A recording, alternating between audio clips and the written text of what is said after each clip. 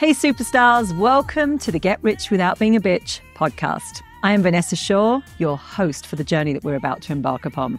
Listen, if you're in business for yourself, you want to enjoy financial empowerment, live life on your terms, and frankly, live a much richer life, you are going to be in the right place because we are going to be challenging stereotypes, breaking through glass ceilings, giving you the tips, tools, and strategies that can help you be a better version of you, build life and business on your terms.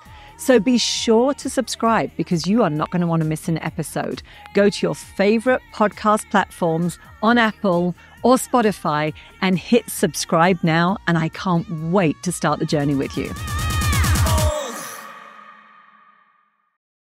This is so important, and I want to explore with you the three levels of clarity that money needs so that it can come into your life in this episode. Hey, superstars, here we are again. Really important.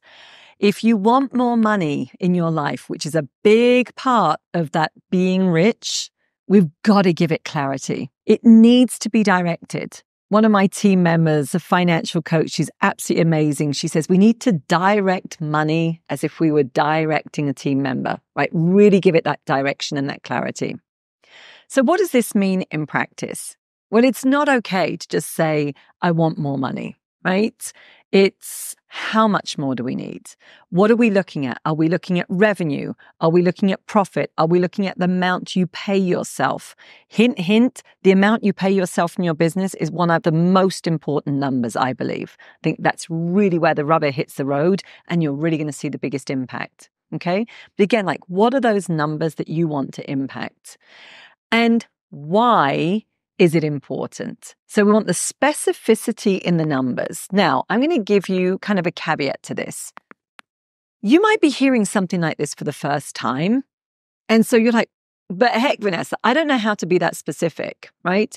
And that's okay. We can go with somewhat of a grounded guess to get started because I certainly started out that way. I was definitely picking some numbers out of thin air initially, and then they weren't making sense. And then I started to build that skill set and got more specific, right? But if you've been around this for a while and you've been in business for a while as well, we need to start building that skill set of getting more specific, right? So again, what is that number that's really going to make a difference for you? Is it doubling your business? Is it an extra 100,000? Is it paying yourself whatever extra percentage? Right. And now what I want you to do is to drill down into your money why. Why is it important? Like, what are you going to use it for?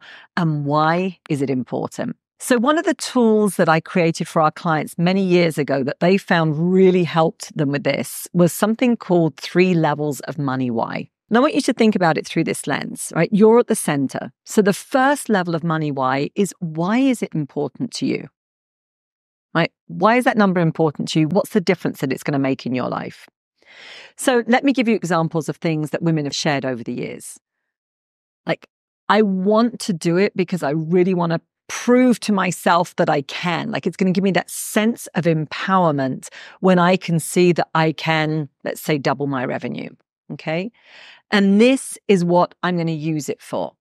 I will be able to pay myself X amount extra this year when I do that. I will be able to perhaps hire some help. I will be able to invest in perhaps a new system for the business, or I will be able to reward myself with something, right? So it's all about that impact of what's the difference it's going to make to you. The next level of your money why is who I call your inner circle.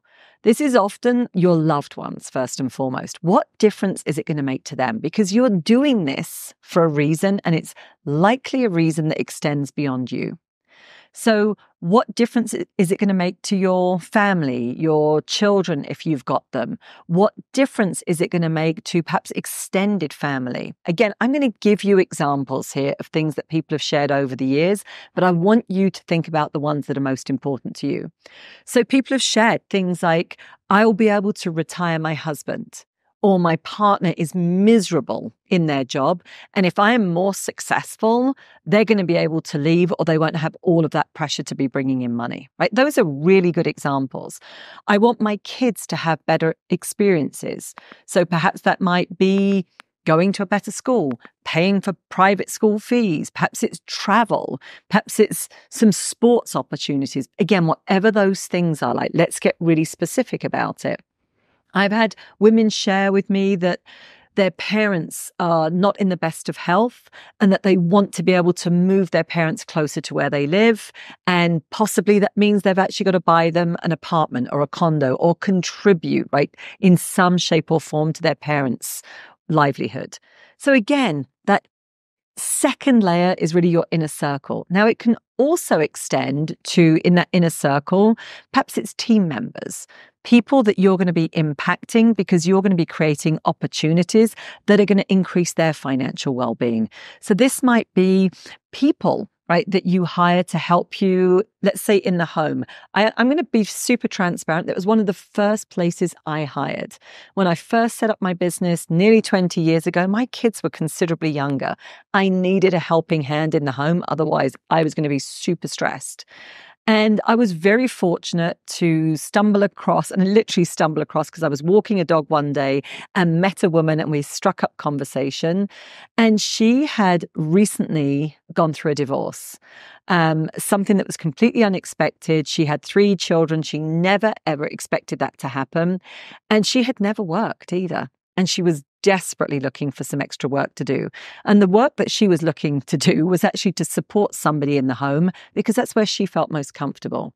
And I was able to hire her initially for a few hours a week. And then she became pretty much full time with us as my business took off right? Those were opportunities that were afforded to somebody that she was so grateful for. So was I. It gave her a level of freedom. She was able to travel. She even traveled to the States when we moved to the States and helped me, you know, supported me as my husband was still back in Europe at the time. She actually came over whilst I was attending conferences and I was able to fly her in, right? Now, this is an example of how that one expanded over the years in my own life. Other times it might be, hiring a virtual assistant, an assistant, people to help you in your business, right? So that you are not carrying the load of it. So that's in your level two why. The level three is really that place of paying it forwards. What are the causes that are really close to your heart that if you have more money, or let's say when you have more money, you could contribute at a higher level? So, again, the sorts of examples that people have shared over the years is that perhaps there's a favorite charity that they would love to contribute to or they'd love to contribute more to. Um, it might be things, again, these come up a lot in my world. Um, women in shelters, domestic abuse, um, young women that have, you know, unfortunately having to have babies, you know, and helping with them. I mean, there's so many people that need our help.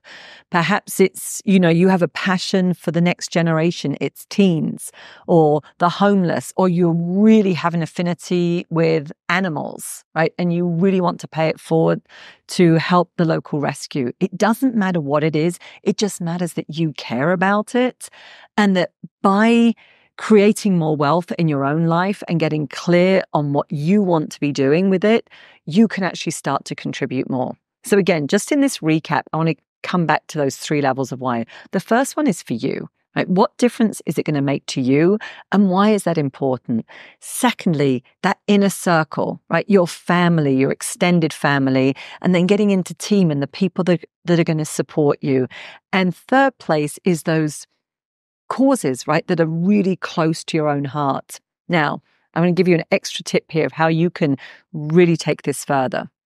I used to do this in live events and it was always really eye opening because some people have had a limiting belief, let's say, that ha- wanting more money and having it somewhat makes them selfish. And by going through this next exercise with it, you can start to see how actually you really pay it forwards and it's anything but selfish. So you can actually start to put the names of the people that will be impacted. Who are those family members? Who are the people that you'd be paying it forwards to?